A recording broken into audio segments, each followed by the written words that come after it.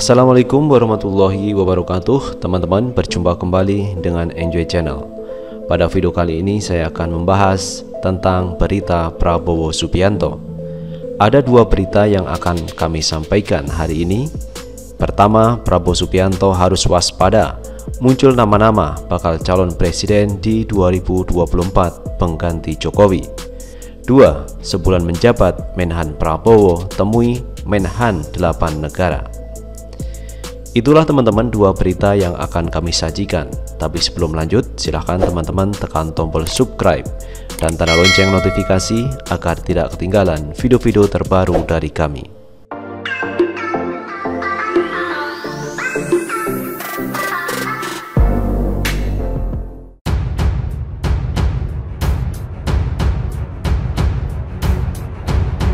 Prabowo Subianto harus waspada. Muncul nama-nama bakal calon presiden di 2024 pengganti Jokowi. Ketua Umum Partai Gerindra sekaligus Menteri Pertahanan Prabowo Subianto harus waspada. Muncul nama-nama bakal calon presiden baru pada Pilpres 2024. Bagaimana dengan Sandiaga Uno yang pernah sama-sama Prabowo Subianto pada Pilpres 2019? Pemilihan presiden pada tahun 2024 masih jauh, namun isu sederet nama yang akan ikut bertarung merebut tahta orang nomor satu di Indonesia itu sudah ramai dibicarakan. Untuk capres pada 2024 diprediksi akan datang dari berbagai latar belakang, mulai dari kepala daerah hingga militer. Pengamat politik Paul Tracking Hanta Yuda menerangkan kepala daerah khususnya gubernur di Pulau Jawa yang menurutnya harus menjadi perhatian. Hal tersebut berkaca dari jejak perjalanan Jokowi yang mulai langkahnya sebagai wali kota Solo hingga menjadi Presiden Republik Indonesia. Kalau trek itu tidak patah terhenti pada Jokowi yang tadi pernah menjadi wali kota, menjadi gubernur kemudian menjadi presiden. Ujar Hanta dalam diskusi, Golkar mempersiapkan transformasi kader di Senopati, Jakarta Selatan pada hari Selasa 19 November 2019. Kedua, Capres pada 2024 muncul dari partai politik. Menurut Hanta, partai-partai besar seperti Partai Golkar, PD Perjuangan, Partai Nasdem, dan Partai Gerindra tentu akan memiliki figur-figur partai yang masih mungkin akan dimunculkan saat kontestasi pada pemilu 2024. PDIP misalnya pasti muncul figur dari partai itu yang akan mendapat posisi strategis di 2024 katanya. Ketiga, datang dari pemerintahan atau parlemen.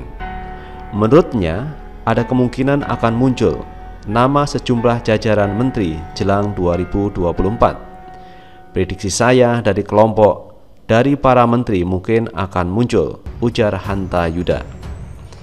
Keempat, akan lahir dari kalangan militer aktif.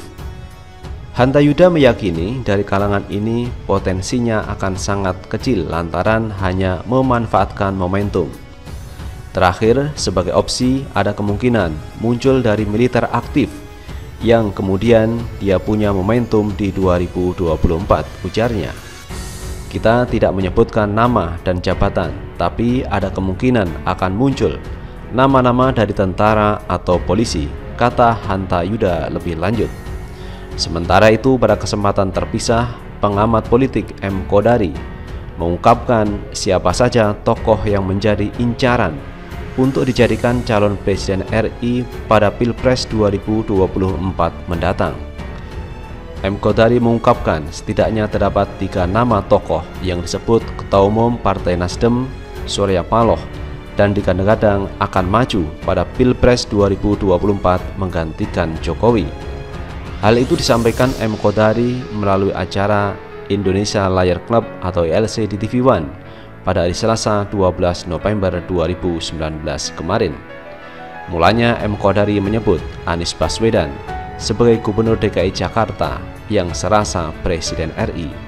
Gubernur DKI Jakarta adalah gubernur rasa presiden, kata M. Kodari. Dan tolong jangan salahkan saya bang, tadi malam saya hadir dalam acara Nasdem, katanya menyambung. Dalam acara Kongres Partai Nasdem itu, Surya Paloh disebutnya menyampaikan ada beberapa calon presiden yang menjadi perhatian publik. M. Kodari menyinggung nama Anies Baswedan hingga Gubernur Jawa Timur Kofifah Indar Parawansa. Bang Surya Paloh selalu menyebut bahwa di antara calon-calon itu Partai Nasdem menyebut di antara calon presiden yang diperhatikan adalah Anies Baswedan, Ridwan Kamil, Kofifah Indar Parawansa, katanya. Lalu M. Kodari menyinggung nama Gubernur Jawa Tengah Ganjar Pranowo. Sengaja tidak disebut Ganjar, takut Ibu Mega pulang lagi nggak jadi menghadiri acara, ucap M. Kodari. Menyinggung soal Pilpres 2024, M. Kodari mengungkapkan nama Anies Baswedan disebut pertama kali oleh Surya Paloh. Yang disebut pertama Bang itu Anies Baswedan, Gubernur DKI Jakarta. Nah ini baru masuk kacamata politiknya Bang, kata M. Kodari. Lantas M. Kodari memberikan imbauan kepada Anies Baswedan. Memang Bung Anies harus betul-betul hati-hati karena semua aspek ini bisa dianggap sebagai bagian atau proses menuju Pilpres 2024 yang akan datang, ujar M. Kodari. M. Kodari menyebut berbagai masalah dan tuduhan yang diarahkan ke Anies Baswedan bisa jadi merupakan serangan politik menuju Pilpres 2024 mendatang. Jadi ya namanya masalah, ya namanya kontroversi. Anggaplah serangan politik kan biasanya begitu. Kalau ada kritik, ada tuduhan, ada masukan, kadang-kadang kepala daerah itu bilang ini bersifat politis, kata M. Kodari. Lebih lanjut, M. Kodari mengungkapkan dugaan adanya motif politik yang melatar belakangi penemuan ABBD janggal di DKI Jakarta. Jadi bisa jadi ada motif-motif politik yang kita pada hari ini belum tahu apakah itu betul atau tidak. Tapi bisa saja orang mengatakan William juga harus siap ya dengan tuduhan begini. Jadi yang bisa dituduh itu bukan cuma Anies, tapi William juga bisa dituduh, katanya. Menjadi orang pertama yang menyoroti isu APBD janggal di DKI Jakarta, William Aditya Sarana disebutnya harus siap terhadap segala tuduhan yang mungkin saja menyerang. Bahwa William melemparkan isu iPhone ini dalam tanda kutip karena belum jadi masalah korupsi, ia baru indikasi di dalam anggaran ini adalah tanda kutip serangan politik ujar M. Kodari. Lantas M. Kodari menyinggung tentang Partai Solidaritas Indonesia PSI yang menaungi William Aditya Sarana. M. Kodari menyinggung soal beberapa kemungkinan agenda politik PSI. Karena PSI entah karena punya hubungan masa lalu dengan gubernur sebelumnya atau agenda berbeda dengan Anies. Mungkin sudah menggadang-gadang calon presiden tersendiri gitu ya entah siapa namanya, ini bisa dianggap sebagai serangan politik terhadap Anies, ucap M. Kodari. Sementara itu, sebulan menjabat Menhan Prabowo temui Menhan delapan negara. Tepat sebulan setelah dilantik hingga hari ini, Menteri Pertahanan Menhan Prabowo Subianto telah bertemu dengan sejumlah Menhan dari negara-negara ASEAN, Afrika, hingga Amerika Serikat diolah dari berbagai sumber. Berikut pertemuan Prabowo dengan sejawat dari berbagai negara. Pertama, menerima kunjungan Menhan Republik Ghana, Dominic B.A. Nitibul di kantor Kemenhan Jakarta pada hari Kamis, 21 November 2019. Tujuan pertemuan ini mempererat hubungan bilateral kedua negara, khususnya membahas rencana kerjasama militer antara Indonesia dan Ghana. Indonesia memandang negara-negara kawasan Afrika Barat termasuk Ghana sebagai negara penting dan dapat menjadi mitra bagi kerjasama produk-produk industri pertahanan Indonesia dan juga kerjasama pertahanan strategis lainnya, kata Menhan Prabowo Subianto.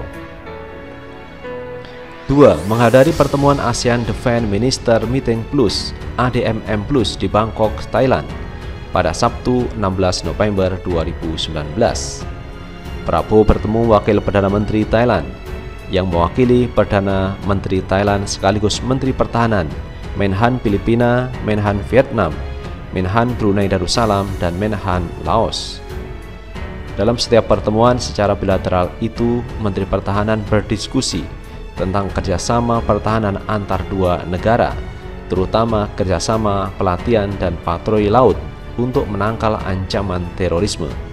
Kata staf khusus Menhan bidang komunikasi publik dan hubungan antar lembaga, Daniel Ansar Simanjuta pada hari Sabtu, 16 November 2019. 3. Bertemu Menteri Pertahanan Malaysia Muhammad bin Sabu dalam ADMM Plus pada hari Kamis 14 November 2019. Rencana pengiriman Taruna Indonesia ke Malaysia sebagai simbol persaudaraan menjadi salah satu topik pembahasan.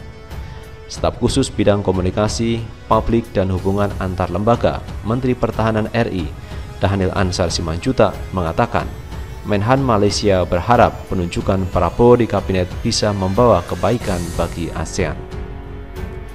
4. Bertemu Menteri Pertahanan Amerika Serikat Meike Esper dalam pertemuan ADMM+. Prabowo dan Esper membahas peningkatan kerjasama pertahanan kedua negara, termasuk melanjutkan program latihan bersama pasukan khusus dan pasukan penjaga perdamaian Perserikatan Bangsa-Bangsa. Menhan Amerika Serikat menanggapi dengan sangat terbuka dan siap menerima taruna-taruna Indonesia untuk dapat belajar di Amerika Serikat, kata Dirjen Strategis Pertahanan Kemhan Maijen TNI, Rius Eko HS yang mendampingi Prabowo. Itulah teman-teman dua kabar tentang Prabowo Subianto hari ini. Kami hanya mengabarkan dan teman-teman yang menilainya. Dan terakhir jangan lupa untuk tetap like, subscribe, dan komen di channel ini agar kita bisa membangun channel ini menjadi lebih baik lagi. Sukses selalu. Assalamualaikum warahmatullahi wabarakatuh.